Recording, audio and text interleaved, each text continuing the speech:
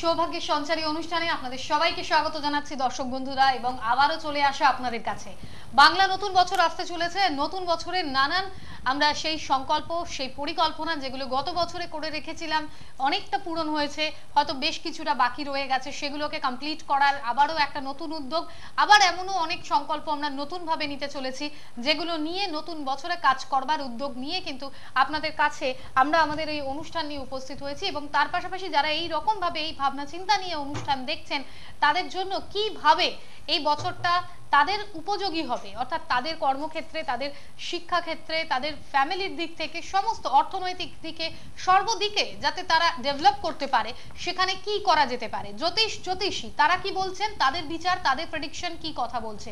তারা কোন দিকের ইন্ডিকেশন দিচ্ছে? আপনার হরোস্কোপ কোন দিকে গেলে বা আপনি কোন দিকে গেলে আপনার হরোস্কোপ কি ইন্ডিকেট করছে আপনার জন্য, সেটা কিন্তু একজন অভিজ্ঞ অ্যাস্ট্রোলজার আপনাদেরকে বলতে পারেন। আর সেই অভিজ্ঞ অ্যাস্ট্রোলজার রূপে যার বিচার, যার প্রেডিকশনের কথা আমরা বারবার আপনাদের কাছে জানিয়ে এসেছি, তিনি মাতা শ্রী চন্দ্রিমা।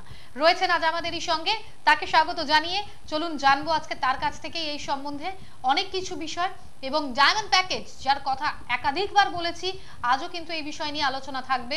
তবে হ্যাঁ ফোনিন অনুষ্ঠান, সুযোগ আপনাদের কাছে। নিজেদের যে কোনো একটা প্রশ্নের, প্রশ্ন বলার দরকার নেই। নিজেদের সম্বন্ধে যেটা জানবেন, সেটা আবারও মিলিয়ে নিন, যাচাই করে নিন এবং অবশ্যই সমস্যা যেটা, তার একদম পারফেক্ট সমাধানটা খুঁজে নিন।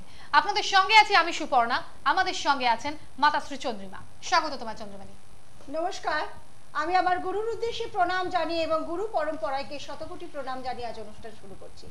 ওং প্রত্যলির পদার পিতাং খ্রি শব্দ রীতি কোরা টোহা আশা পড়া করগন্ধি বড় কর্তি কর্পর ভুজা হুম কর বিচত বাবা কর্বানিল বিশাল পিঙ্গল জুটা জুটই কোনা জুটা।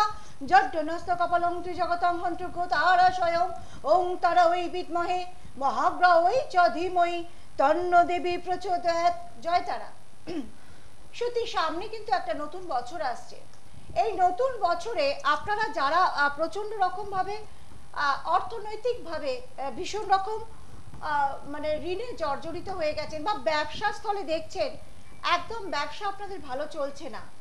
তারা কি করবেন? সেই সম্পর্কে একটা ভালো টোটকা এবং টিপস আজকে আমি দিয়ে দেব, যেটা ব্যবসা স্থলে রাখলে এবং বা যারা ব্যবসা স্থলে না রেখেও গৃহে যদি রাখেন, অর্থাৎ অর্থ আনছেন, তার থেকে বিশেষ করে প্রচণ্ড রকম আপনাদের অর্থ বেরিয়ে যাচ্ছে।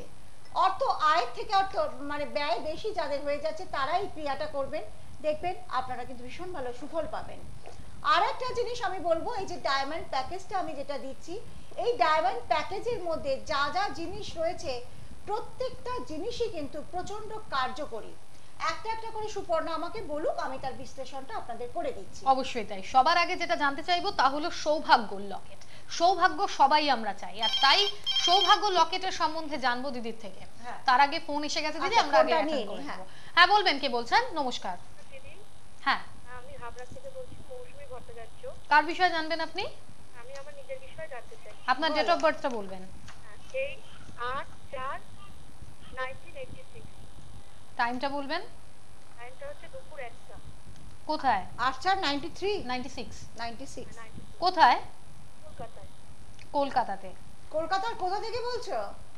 আমি আমি আর কি শ্বশুরবাড়ি থেকে বলছি। কলকাতা হচ্ছে আমার বাগুই আসছে আচ্ছা আচ্ছা আচ্ছা। বাড়ি হচ্ছে হাবড়া। হাবড়া। আচ্ছা প্রোগ্রাম আচ্ছা। আপনি আজকে প্রথম দেখছেন? হ্যাঁ হ্যাঁ আমি আজকে প্রথম দেখছি। আজকে প্রথম দেখছেন প্রথমবারের চেষ্টায় প্রথমবারেই সুযোগ পেয়েছেন। হ্যাঁ হ্যাঁ। ভাবতে পারেন মানুষ কতদিন ধরে চেষ্টা করেন?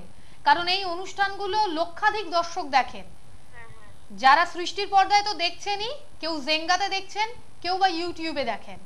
তো যাই হোক আজকের ফোনিন অনুষ্ঠানে আপনি সুযোগ পেয়েছেন। প্রথমবারের চেষ্টাতেই। চলুন জেনে নিন দিদি কি বলবেন আপনার সম্পর্কে? সময়টা কত বলল? দুপুর একটা কলকাতাতে। আচ্ছা। আজকে এখন কি বাপের বাড়িতে রয়েছো। শ্বশুর বাড়ি থেকেই বলছো?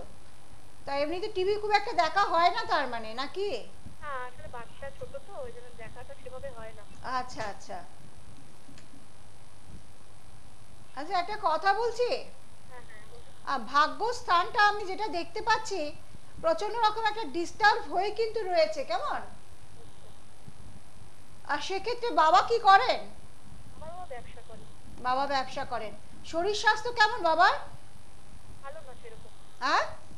ভালো না। হ্যাঁ খুব ভালো না।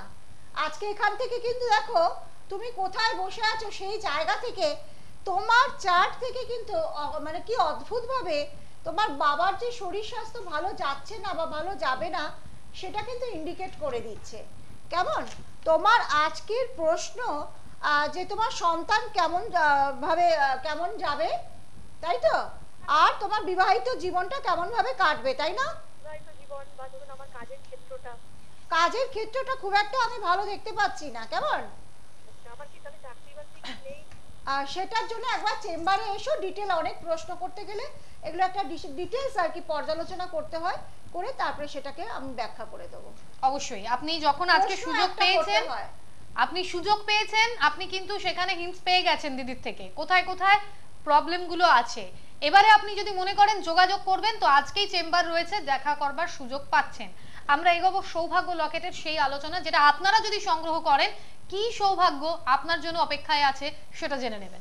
সৌভাগ্য লকেটটা আমি দিচ্ছি এই কারণেই। অনেক সময় অনেক মানুষ কিন্তু দামি পাথর কিনতে পারে না।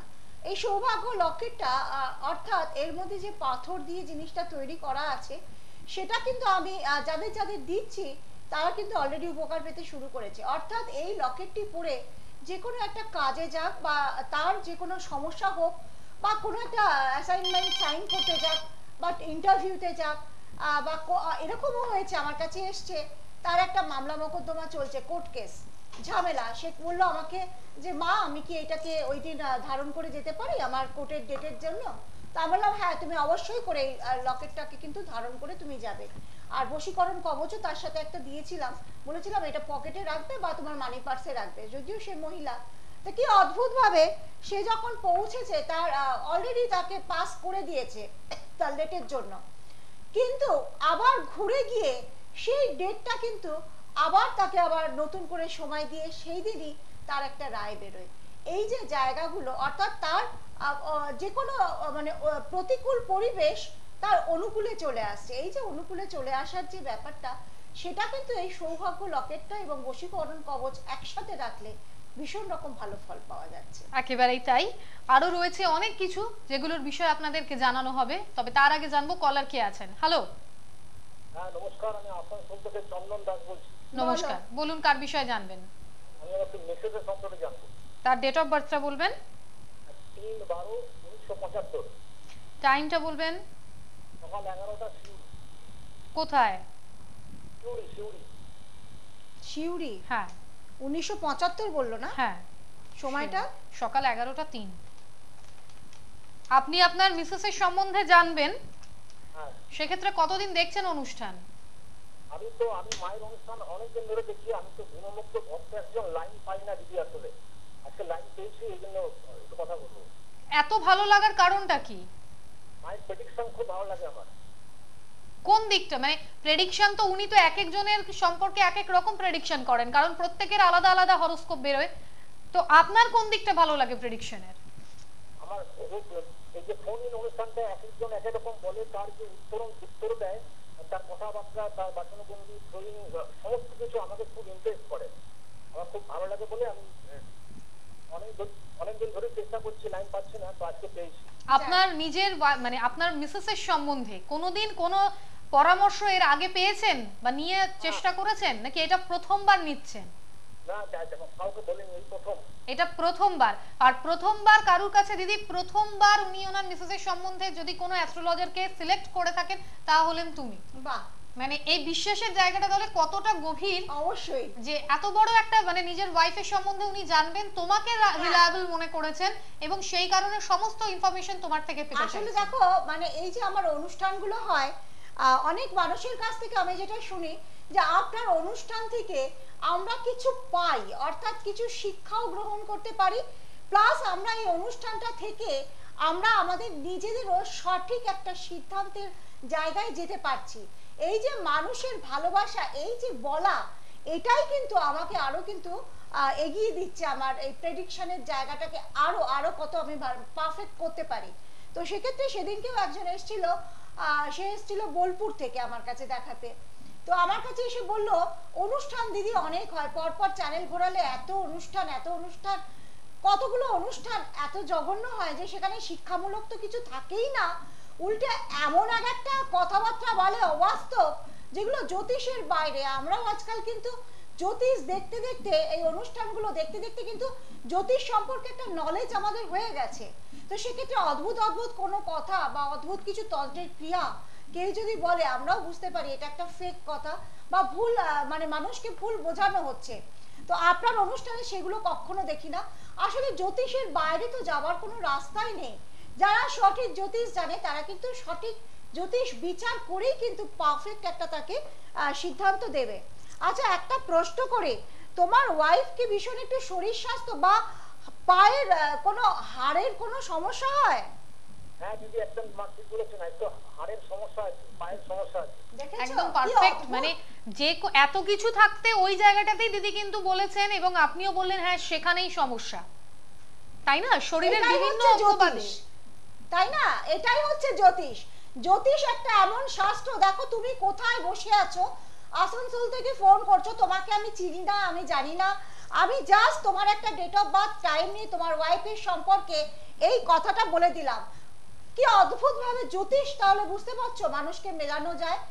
আমি তোমাকে এই জায়গা থেকে বলে দিতে পারি, তোমার ওয়াইফের এই জায়গাটা থেকে কিন্তু পরবর্তীকালে একটা বাতজ বেদ- বেদনা মানে অর্থাৎ বাতের একটা প্রচণ্ড রকম সমস্যা আসবে রিউমেটিক পেন কিন্তু তার হবে, সেই জায়গা থেকে শরীর স্বাস্থ্য কিন্তু প্রচণ্ড রকম তার খারাপ হবে।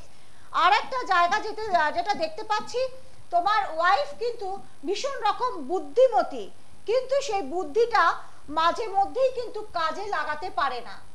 আর তিন হচ্ছে যেটা, সেটা হচ্ছে মানে তোমার ওয়াইফের স্ত্রী ভাগ্যে ধন তোমার হওয়া উচিত, কারণ এই চার তাই বলছে, কেমন? আর পাড়া প্রতিবেশী বা আত্মীয় স্বজন থেকে একটু সাবধানে থাকতে হবে প্রচণ্ড রকম শত্রুতা গুপ্ত ক্রিয়া তান্ত্রিক ক্রিয়া প্রয়োগ করে তোমার ওয়াইফের শরীর স্বাস্থ্য কিন্তু খারাপ করে দিতে পারে। দেখুন আপনার ওয়াইফের শরীর স্বাস্থ্য যে এখন ঠিক নেই এটা কতদিন ধরে হচ্ছে?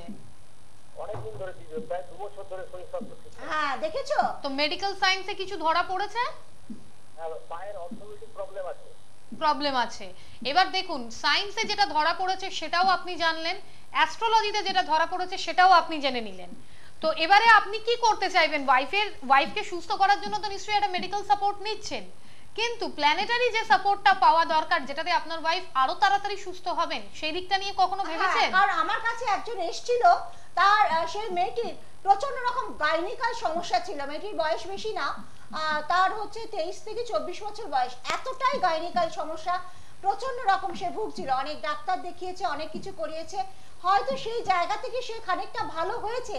তারপরে আমার কাছে যখন এলো, আমি প্ল্যানেটারি পজিশন দেখি আমি জানতামও না যে তার গাইনিকাল ট্রিটমেন্ট চলছে। আমি কিন্তু তাকে দেখেই বলে দিয়েছিলাম, তুমি কিন্তু ভীষণ রকম গাইনিকাল সমস্যায় ভুগবে। তোমাকে কিন্তু এই মানে স্টোনটা ধারণ করতেই হবে। এই স্টোনটা তুমি যদি ধারণ না করো তাহলে কিন্তু তুমি এই জায়গা থেকে কোনোদিনই তুমি এ পাবে না রিলিফ পাবে না। তো আমার কথা শুনে সে কিন্তু অলরেডি দু বছর ধরে ট্রিটমেন্ট করছিল।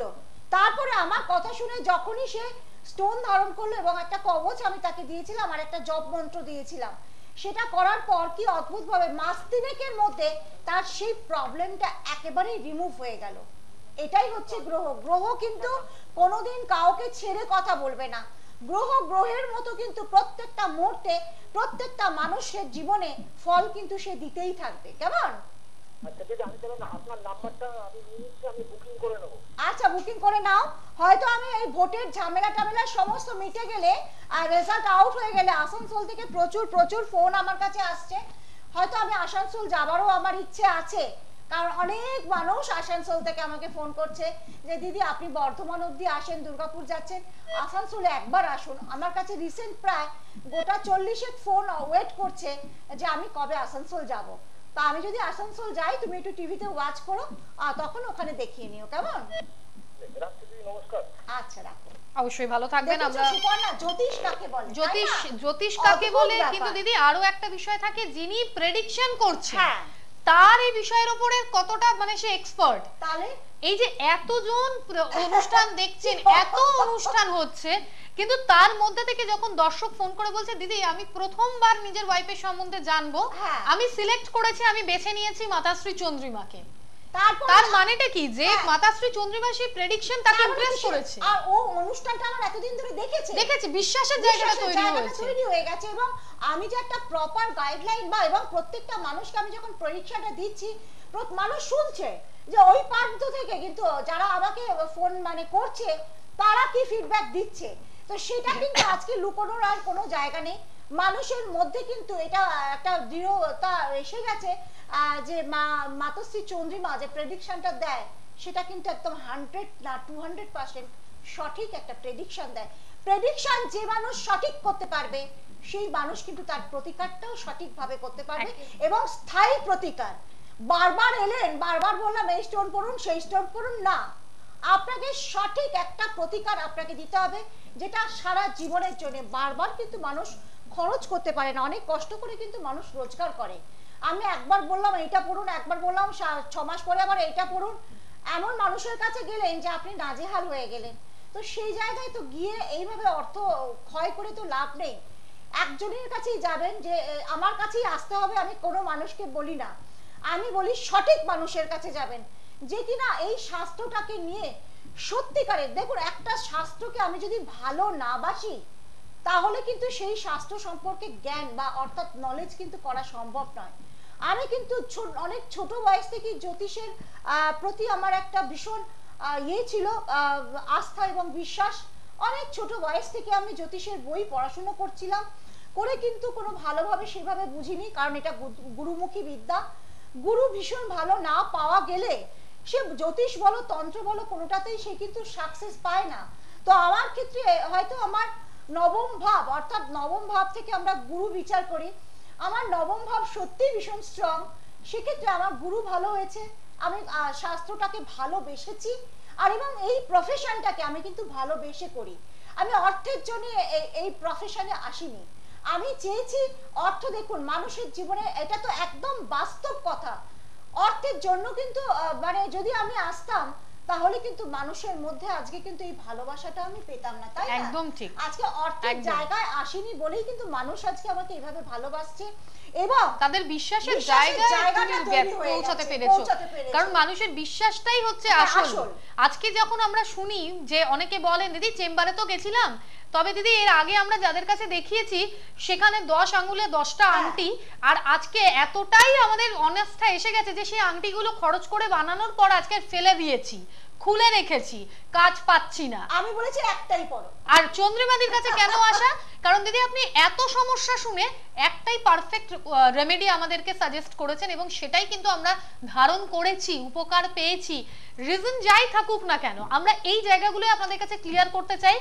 অ্যাস্ট্রোলজার যিনি হবেন তিনি কিন্তু সবার প্রথম তাকে যেটা করতে হবে ক্যালকুলেশনটা তাকে পারফেক্টলি করতে হবে। ক্যালকুলেশন পারফেক্ট করতে হবে এবং সঠিক বিচার করতে হবে। বিচারটা সৎ- যে সঠিক বিচার করতে পারবে সে প্রতিকার ডেফিনেটলি দেবে। থেকে যে ভদ্রলোক ফোন করল তার ওয়াইফের সম্পর্কে সত্যি করে ওর ওয়াইফ ভীষণ রকম মানে শারীরিক কষ্ট ভোগ করছে তো সেই জায়গাটা এই যে তাকে তুলে ধরলাম দিদি আসানসোলে তো অনেক অ্যাস্ট্রোলজার আছে। হ্যাঁ। কিন্তু কেন কলকাতায় এই চন্দ্রিমাদিকেই তিনি ফোন করলেন? প্রশ্ন কিন্তু এইখানেই। আসানসোলে কি অ্যাস্ট্রোলজাররা বসেন না? প্রচুর প্রচুর প্রচুর অ্যাস্ট্রোলজার যান। কিন্তু এতজনের মধ্য থেকে উনি কি- উনি কিন্তু ঠিক করলেন যে মাতাশ্রী চন্দ্রিমার সঙ্গে আমি যোগাযোগ করব। আর দেখুন উনি যেটা বলেছিলেন যে গুণমুগ্ধ ভক্ত আমি। তো কেন?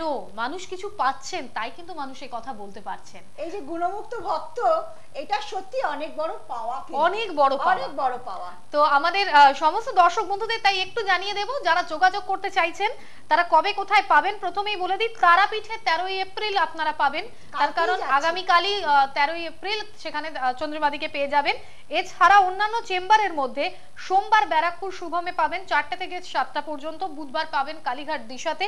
বেলা বারোটা থেকে বিকেল চারটে। বালিগঞ্জে পেয়ে যাবেন বুধবার দিনই বিকেল পাঁচটা থেকে সন্ধ্যে সাতটা। শুক্রবার শিয়ালদা ঢাকা ঔষধালয়তে বিকেল পাঁচটা থেকে সন্ধ্যে সাতটা। আর শনিবার পেয়ে যাবেন বালিগঞ্জে বিকেল পাঁচটা থেকে সন্ধ্যে সাতটা। দর্শক বন্ধুরা, আপনাদের জন্য দেখুন, আপনারা যেমন চন্দ্রিমাদির কাছে আসতে চাইছেন, তাই এই কাঠফাটা গরমে চন্দ্রিমাদিও কিন্তু আপনাদের জন্য আপনাদের কাছে যাওয়ার সম্পূর্ণ চেষ্টা করছেন। অগ্রিম বুকিং করবার জন্য seven six eight six eight five two three double five nine one six three nine four nine eight nine two তারপরে আসছি আবারও আমরা সেই প্যাকেজের কথাতে কিন্তু কলার আছেন একটু জেনে নি কে বলছেন। নমস্কার। হ্যাঁ। বেশ কিছুক্ষণ ছিলেন আমাদের সঙ্গে এবং মন দিয়ে শুনছিলেন। ভীষণ ভালো লাগল বলুন কে বলছেন কার বিষয়ে বলো। জানবেন? হ্যাঁ বলছি আমি আমার ভাইয়ের সম্পর্কে একটু জানতে চাই। আচ্ছা ভাই ডেট অফ বার্থটা চার আট দু হাজার। টাইম টাইম হলো এই সন্ধ্যা সাতটা আটত্রিশ মিনিট। কোথায়? তার সাথে আচ্ছা। কতদিন দেখছ অনুষ্ঠান? আজকে প্রথম। আরে বাবা আজকে তুমিও প্রথম। আজকে পরপর দুজন প্রথম দেখছে আচ্ছা, তুমি- লাইন পেয়ে গেলে কি করে পেলে? তুমি কি করো? আমি এবারে টুয়েলভে পড়ছি। তুমি টুয়েলভে পড়ছো তুমি তোমার ভাই সম্বন্ধে জানতে চাও? হ্যাঁ। তুমি টুয়েলভে পড়ছো তোমার ভাই সম্বন্ধে জানতে চাও? আচ্ছা। দু জেনে কি সালে তোমার ভাইয়ের জন্ম। দু হাজার সালে তোমার ভাইয়ের জন্ম। হ্যাঁ হ্যাঁ হ্যাঁ হ্যাঁ। হিসেব মতো তাহলে ওর ইলেভেনে পড়ার কথা। ইলেভেন বা টেনে পড়ছে বা মাধ্যমিক দিয়েছে এরকম হবে তাই মাধ্যমিক। মাধ্যমিক দিল। হ্যাঁ। মাধ্যমিক দিল। তো নিজের সম্বন্ধে জানতে না চেয়ে ভাইয়ের সম্বন্ধে কেন জানতে চাইলে? ওটাই আগে জানতে চাই তারপরে আমারটা নাই পরে হবে। ঠিক আছে আমি ঠিক আছে কারণ তুমি শুনে নাও। ছোট বাচ্চা একদম, ওই এটা জন্যই আমি জিজ্ঞেস সময় নষ্ট করে লাভ নেই। কারণ এটা নিছকই একটা জাস্ট ফোনটা জানার জন্য। ঘুরিয়েছো জানার জন্য। সেক্ষেত্রে এটাকে ইম্পর্টেন্ট কোনো ফোন আমি মনে করলাম না। প্রচুর মানুষ রয়েছে যাদের সত্যিকারের খুব সমস্যা রয়েছে। আসতে পারছে না তাদের ফোনগুলি আমি মনে করি অ্যাটেন্ড করাটা আমার খুব জরুরি। একেবারে ডায়মন্ড প্যাকেজের আলোচনা দিদি এগুলো আরও বাকি রয়েছে সেটা হচ্ছে রুদ্রাক্ষ কবচ বশীকরণ কবচ এবং লক্ষ্মী কবচ। এই যে এগুলো দিচ্ছি সেগুলোতে প্রত্যেকটার একটা কার্যকারিতা রয়েছে। যারা ভীষণ ঋণে জর্জরিত হয়ে গেছেন তারা কিন্তু এই লক্ষ্মী কবচটা ভীষণ সঙ্গে রাখলে বা বাড়িতে এটা মানে ধারণ করলে বা অর্থের জায়গায় রাখলে যারা ব্যবসা করেন তারা ক্যাশ বাক্সে রাখবেন ভীষণ ভালো উপকার পাবেন এবং স্ফটিক শিবলিঙ্গ। পারদ শিবলিঙ্গ তো আজকাল সব বাড়িতে বাড়িতে রয়েছে আমি কিন্তু স্ফটিক শিবলিঙ্গ দিচ্ছি। এই স্ফটিক শিবলিঙ্গটা আপনারা রেখে দেখুন আপনারা ভীষণ ভীষণ ভালো কাজ পাবেন। সূর্য যন্ত্র। সূর্য যন্ত্রণটা আমি দিচ্ছি। বাড়িতে বাস্তুর যদি কোনো সমস্যা হয়ে থাকে সেই বাস্তুর সমস্যা কিন্তু আপনাদের অনেকটাই এই সূর্য যন্ত্র রাখার পর সেটা ঠিক হয়ে যাবে। এছাড়া আমার লেখা সৌভাগ্য সঞ্চারী বইটা যেটা রয়েছে, সেটা কিন্তু আজকে প্রত্যেকটা মানুষের ঘরে ঘরে রয়েছে। আমি কলেজ স্ট্রিট পতিত পাবন বুক স্টল থেকে এটা দিচ্ছি। এছাড়া কালীঘাট দিশা আমার যে চেম্বারটা রয়েছে, সাউথের লোকেদের জন্য আমি কালীঘাট দিশা চেম্বারে আমার এই বই রাখা আছে। যারা মনে করছে এই বইটাকে সংগ্রহ করবে, প্রচুর প্রচুর টোটকা টিপস এবং তাতে দেওয়া রয়েছে। এই টোটকা টিপসগুলো নিজেরাই কিন্তু বাড়িতে তোমরা যদি প্রয়োগ করো, প্রত্যেকটা মানুষ এটাতে উপকার পাবে।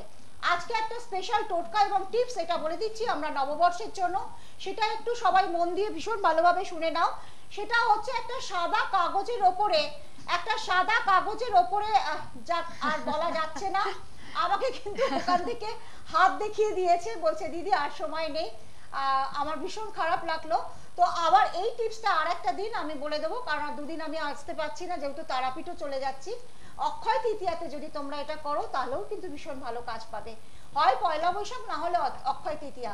আর যারা জানতে চাইছো ফোন করে আমার কাছে জেনে নিও আমি নিশ্চয়ই তোমাদেরকে সেই জায়গা থেকে হেল্প করে দেবো। সবাই ভালো থাকবেন এবং অবশ্যই নতুন বছরের অনেক অনেক শুভেচ্ছা এখনই অ্যাডভান্সে জানিয়ে রাখলাম। সত্যি শুভেচ্ছা জানিয়ে রাখলাম। দিদিকে ধন্যবাদ জানাচ্ছি। সমস্ত দর্শক বন্ধুদের জানাব। নমস্কার।